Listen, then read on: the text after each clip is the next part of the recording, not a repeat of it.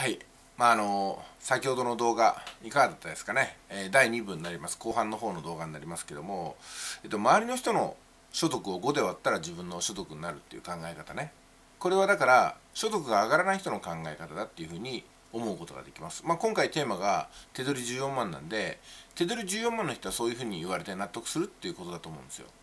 でも待てよと。私はその年収がね随分上がってから思いますけども周りの人の所得とか関係ないなと その周りの人が所得がゼロであろうともう10万だろうと20万だろうと5万円だろうと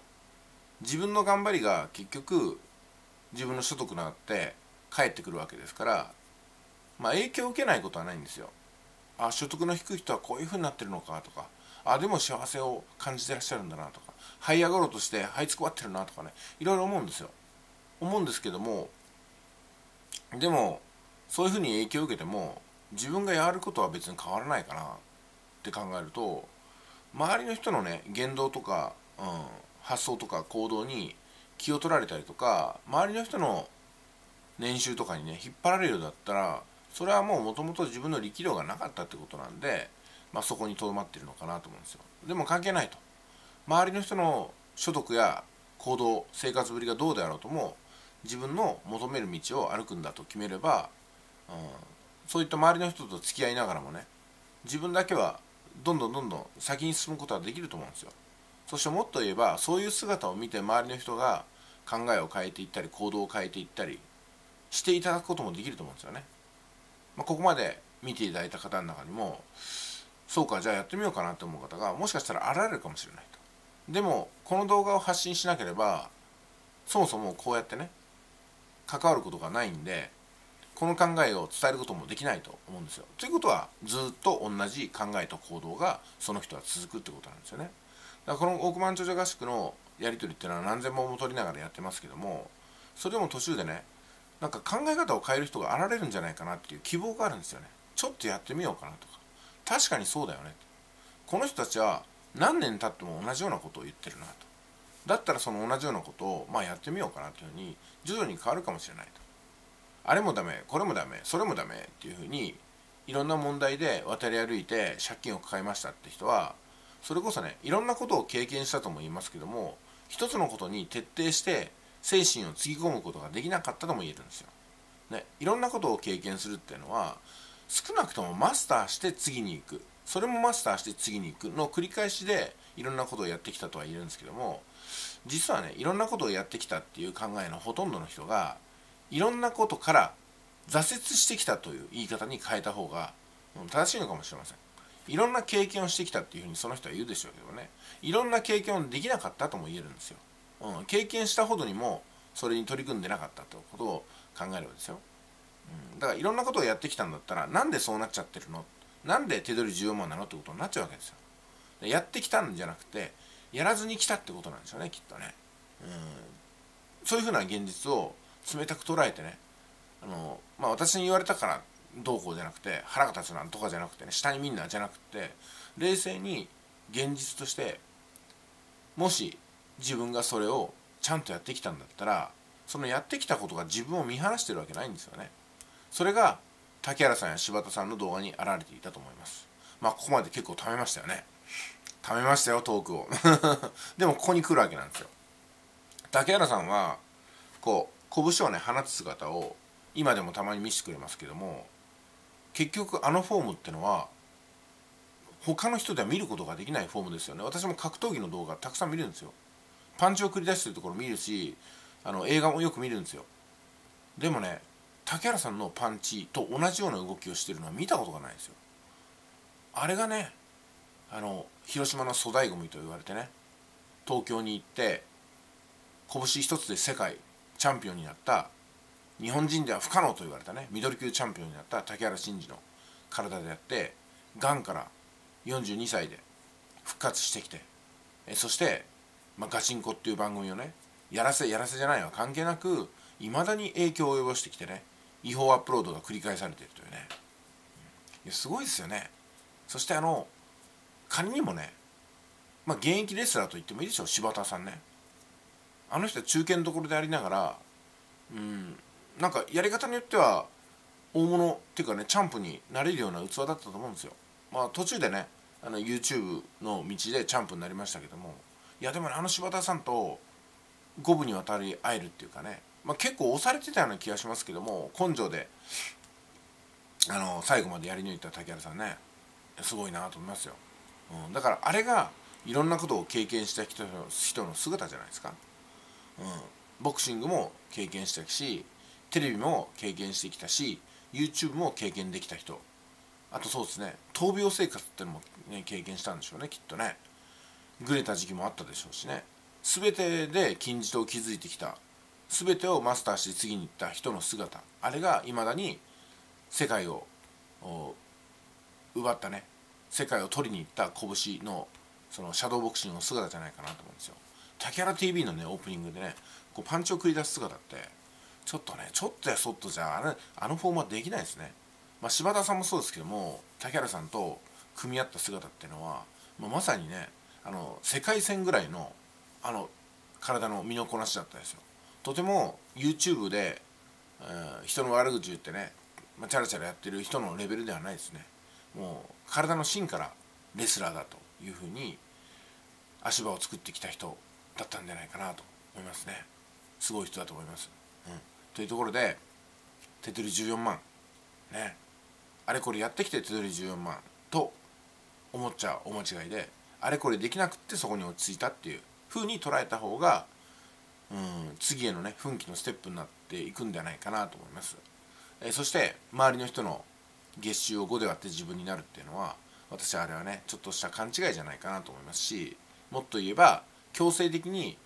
人間関係を変えさせて自分のセミナーとか自分の熟成に誘導するためのねまあセールストークでしょうね。私はそういうことは別に言いませんからね。あの周りの人の所得を5で割ったらあなたの所得になるから今あなたの所得が低いの周りの人のせいなんで、えー、稼いでる軍団速稼塾に入ってみんなで稼ぎましょうとは言いませんよ。速稼塾に入ったって稼がない人の方が多いわけですから。あそして最後になりますけどもねこれどっかで話したと思いますけどもすごいことがあったんですよ。まあすごくはないんですけども実はね。でもすごいと思います。それはえっと昨年の11月か12月ぐらいから私はねあの特別定額給付金の動画を乱発したんですけども、まあ、アクセスはすごく取れたんですがね。そこに集まってくるのはあの生活保護の方がね結構ね2000人ぐらい来てくれたんですよ。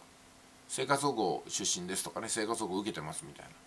だから自分はあの給付金がないともう年を越せないかもしれないとかね。もう来年やっていけないかもしれない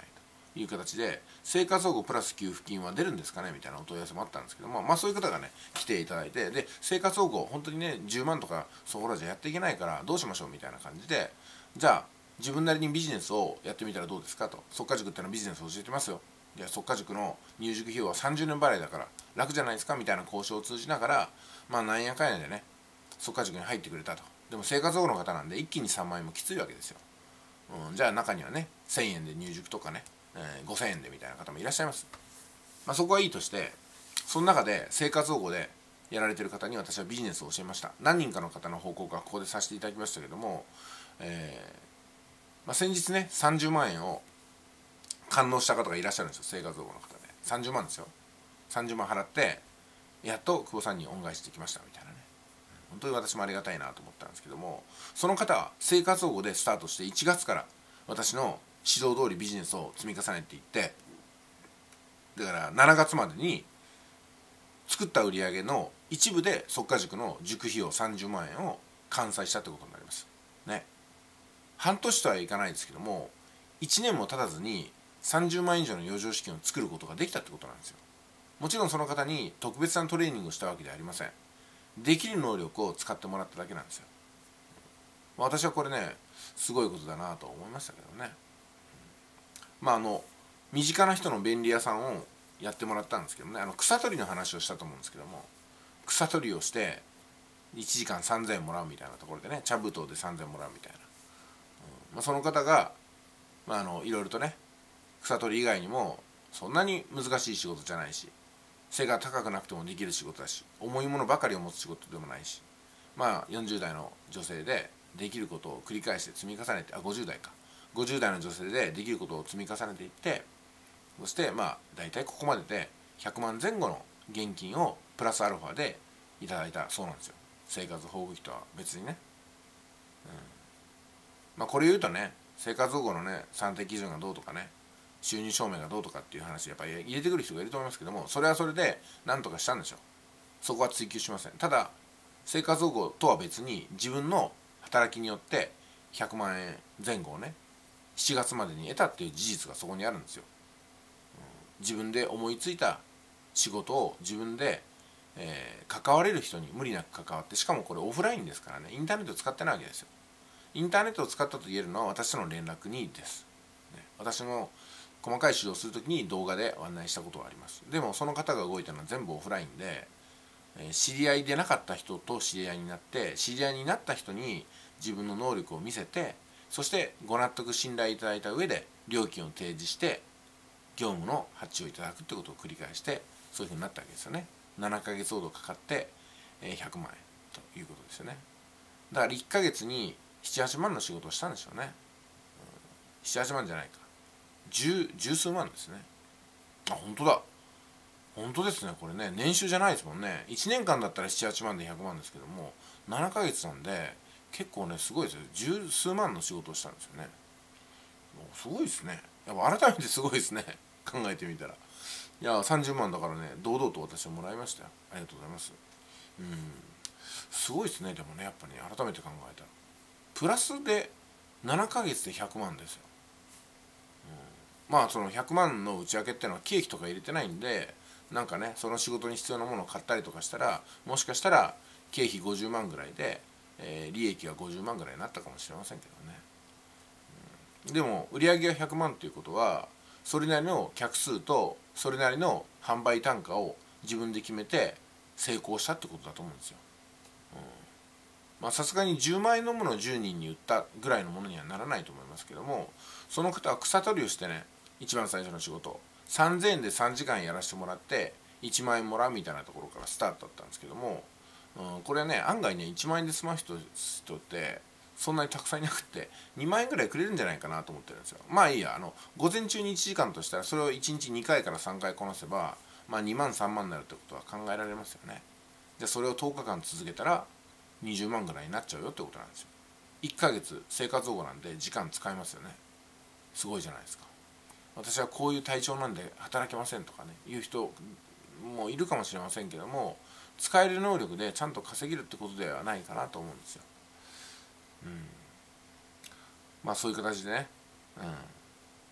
うん、お話しさせてもらいましたけどもお金に対する考え方を変えるっていうのはこういうことかなと。こういうエピソードを聞いても、うん、まあいわゆるこれがね言われてやるってことなんですよ。あそういうエピソードがあるんだ。そういう行動例があるんだ。だったらちょっと自分にも当てはめてみようかなっていうふうにして言われたらやるっていうレベルですねこれが。別にな悪いレベルって言ってるわけじゃないですよ。言われたらやるっていうレベルだよって言ってるだけです。でこの話を聞いてもやらない人もいるんですよ、まあ、一番多いでしょうね。言われてもやらない人。あとは私がこんな話しなくても自分でビジネス見つけて、えー、お金を増やしていってね、うん、言われなくてもやっていく。世の中の事例なんて知らなくても自分で目の前のものを組み合わせて手持ちのカードを工夫して、えー、組み上げていく人もいるでしょうね。まあ3種類ぐらい人がいるんじゃないかなっていうところであなたはどこに入ってますか？ということですね、えー、手取り14万の方にメッセージここまでお伝えしましたがそうじゃない手取りの方はどうお考えになったでしょうか？それでは本日は以上です。